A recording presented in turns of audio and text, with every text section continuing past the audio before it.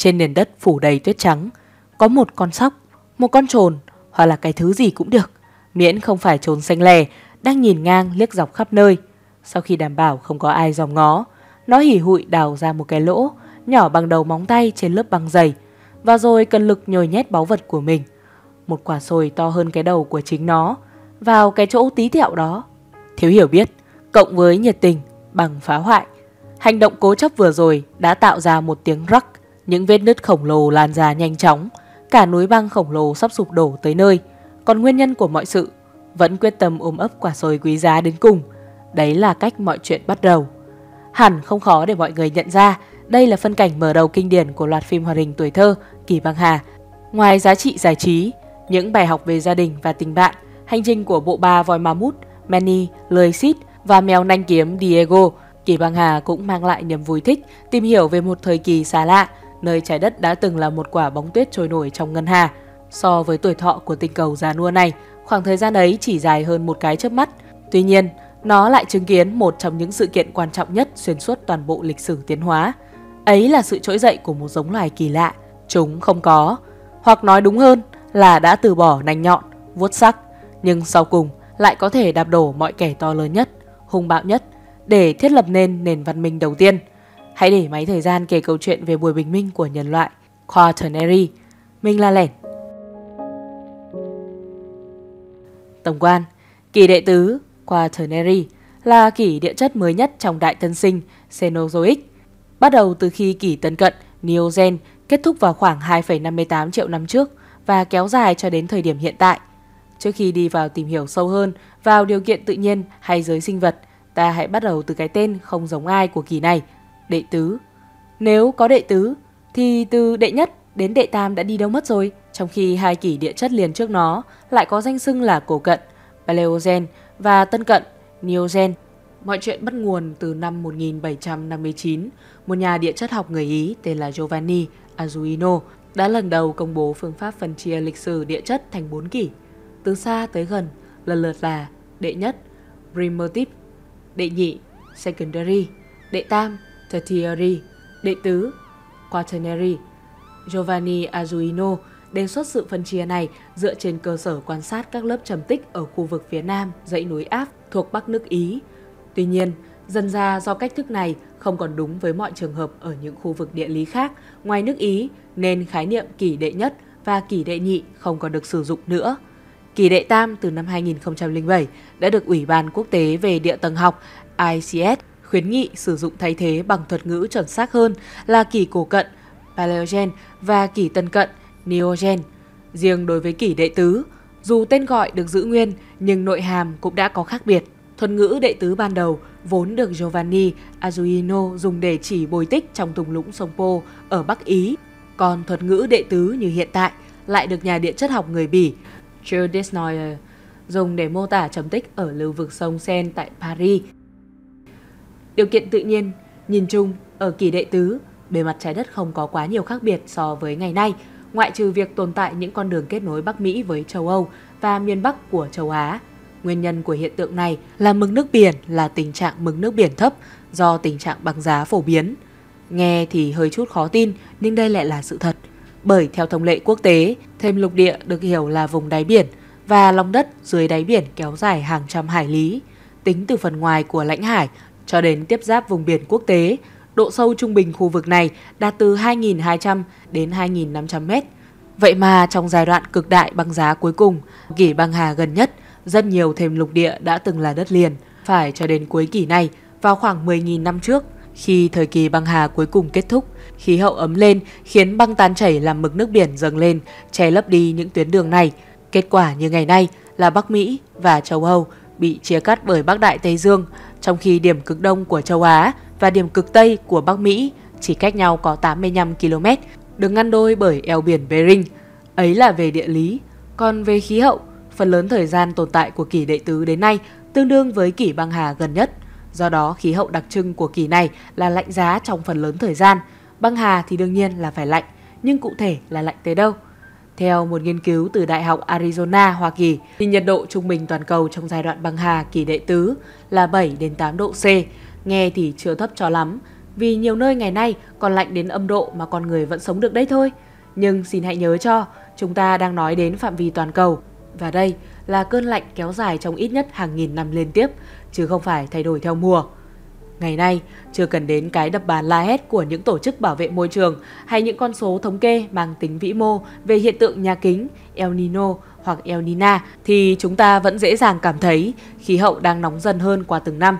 Dẫu vậy, nhiệt độ trái đất trung bình tính đến ngày 4 tháng 7 năm 2023 mới chỉ loanh quanh mốc 17 độ C. Còn cả thế kỷ 20, sụp sôi khí thế công nghiệp hóa mới chỉ có 14 độ C. Cái đáng sợ không phải là nhiệt độ cao, mà là tốc độ gia tăng do hành vi của con người. Chỉ vài trăm năm bằng trái đất tự thân vận động trong hàng chục thế kỷ. Một vấn đề khác thường bị nhầm lẫn về băng hà kỷ đệ tứ, đó là hiện tượng băng giá diễn ra trên phạm vi toàn cầu liên tục không ngắt quãng từ khi bắt đầu cho đến lúc kết thúc. Trên thực tế, mỗi kỷ băng hà thường bao gồm hai thời kỳ diễn ra xen kẽ nhau là thời kỳ đóng băng và thời kỳ gian băng. Vế đầu thì dễ hiểu rồi, còn về sau thì cần phải giải thích một chút. Gian băng có thể tạm hiểu là một thời kỳ ấm áp hơn diễn ra trong kỳ băng hà và làm băng ở hai cực tan ra phần nào, do đó sự sống mới có cơ may trở mình. Vì vậy, có một số quan điểm học thuật cho rằng kỳ băng hà thật ra vẫn đang tiếp diễn và chúng ta đang ở trong giai đoạn giàn băng. Sự ấm áp này sẽ tiếp diễn trong vài chục nghìn năm nữa trước khi giai đoạn đóng băng kế tiếp xảy đến.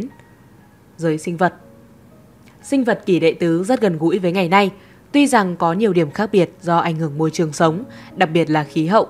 Thú có vú thời kỳ này rất phong phú và đa dạng.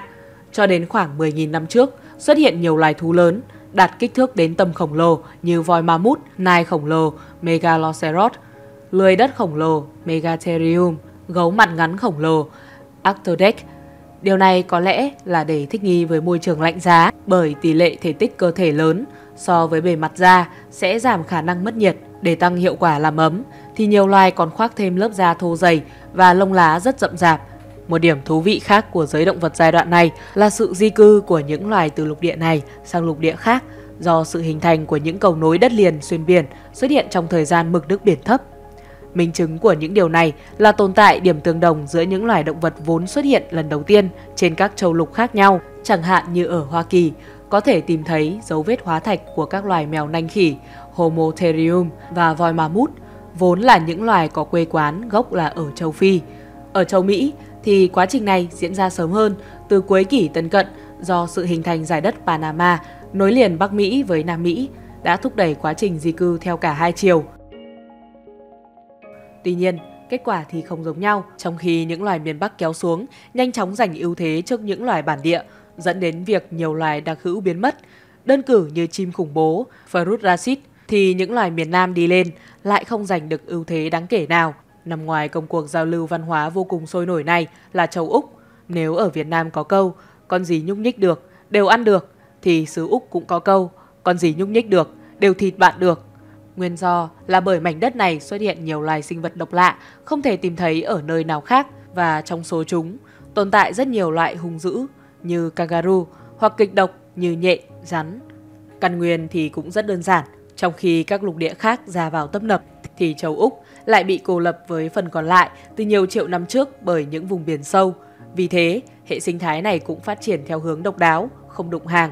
Cách đây khoảng 10.000 năm, trái đất bắt đầu chứng kiến sự tuyệt chủng của nhiều loài thú trên các châu lục. Sự kiện tuyệt chủng này khá kỳ lạ vì đối tượng chính của nó là những loài thú có trọng lượng lớn hơn 40 kg. Nguyên nhân được chấp nhận nhiều nhất hiện nay là sự thoái trào đột ngột của các sông băng trong kỳ băng hà khiến các sinh vật không thể kịp thích nghi. Tuy nhiên, nếu chỉ do khí hậu thì vì sao nhiều loài sống gần các vùng cực lại không di cư đến đó? Và tại sao những thời kỳ gian băng trước đây lại không xảy ra hiện tượng tuyệt chủng hàng loạt như vậy? Đây chính là thời điểm nhân vật chính lên sàn. Xin giới thiệu con người. Sự trỗi dậy của loài người theo quan điểm di truyền học phổ biến thì tổ tiên đầu tiên của con người, vượn người phương Nam đã xuất hiện ở châu Phi từ hơn 4 triệu năm trước tách khỏi những họ hàng linh trưởng gần gũi nhất là hắc tinh tinh chimpanzee để đặt viên gạch đầu tiên cho họ người Hominidae. Trong nhiều triệu năm tiếp theo, họ người tiến hóa không ngừng, theo hướng khối lượng não ngày một lớn hơn, dáng đứng thẳng bằng hai chân, hai bàn tay có thể thao tác linh hoạt, đồng thời từ bỏ đi các đặc điểm hoang dã của thú vật như lông lá, nanh vuốt, dáng di chuyển bằng cách bò và đến khoảng 300.000 năm trước đây, vượt qua mọi thành viên khác của chi người Homo, tổ tiên đích thực của chúng ta đã xuất hiện và tồn tại cho đến tận ngày nay. Homo sapiens hay còn gọi là người tinh khôn. Thuở xa xưa thì tổ tiên con người không khác dã thú là mấy, nhưng từ 2,5 triệu năm trước, con người đã biết cách sử dụng những mảnh đá để làm dụng cụ phục vụ cuộc sống. Đây chính là khởi nguyên của thời kỳ đồ đá cũ. Bước đầu tiên đưa nhân loại thoát ra khỏi đêm trường tối cổ. Từ đó trở đi, nhân loại dần dần không chỉ biết lựa những tảng đá có sẵn để sử dụng, mà còn gia công chúng thành nhiều hình thù phù hợp bằng những cách thô sơ, ghè, đập. Theo thời gian, trình độ gia công ngày một tinh xảo hơn và đạt đến đỉnh cao vào khoảng 10.000 năm trước. Mốc thời gian này chúng tôi đã nhắc lại nhiều lần vì nó rất quan trọng, đánh dấu nhân loại chuyển từ thời kỳ đồ đá cũ sang đồ đá mới. Ở giai đoạn này, kỹ thuật chế tác công cụ đá đã đạt đến trình độ hoàn mỹ. Nghề chế tác đồ gốm cũng phát triển, công cụ lao động tốt hơn, giúp năng suất lao động nâng cao. Với trí thông minh vũ khí sắc bén, đặc biệt là sự xuất hiện phổ biến của cùng tên, nhân loại dễ dàng vây giết những quái thú nguy hiểm như voi ma mút hoặc mèo nanh kiếm, thậm chí là đẩy chúng tới bờ vực tuyệt chủng. Một số loài dù không bị ăn, nhưng ngược lại được thuần hóa để trở thành gia súc. Không chỉ vậy, kể từ giai đoạn này, con người cũng đã bắt đầu thoát ly khỏi sự phụ thuộc vào săn bắt hái lượm, mà còn kết hợp với cả làm nông và chăn nuôi để có nguồn thu thực phẩm ổn định. Vật phẩm không chỉ đủ dùng mà còn dư giả, bắt đầu phát sinh hoạt động trao đổi hàng hóa giữa các cộng đồng người, nền móng đầu tiên cho thương mại. Ngoài công cụ, nhân loại còn đạt được một phát kiến quan trọng khác, đó chính là tìm ra lửa và sau đó là tạo ra lửa. Con người dùng lửa để chiếu sáng, sưởi ấm, đe dọa mãnh thú và nấu ăn, một một điều quá lạ lẫm với mọi loài thú khác. Theo nghiên cứu, con người có thể đã sử dụng lửa sớm nhất từ 800.000 năm trước và rất có thể là chính nhờ tạo ra được lửa, con người mới dám di cư từ châu Phi đến nơi khác. Tất cả những điều trên đã đặt nền móng để đưa nhân loại từ chỗ ăn lông ở lỗ để tiến lên tách ra khỏi giới hoang dã, hình thành nên những tổ chức xã hội cấp cao được liên kết không chỉ bởi nhu cầu sinh tồn đơn thuần mà còn là những giá trị về lợi ích kinh tế, giai cấp, tôn giáo, tín ngưỡng, sau cùng là vươn tầm đến cấp độ văn minh, có chữ viết, luật pháp và nhà nước.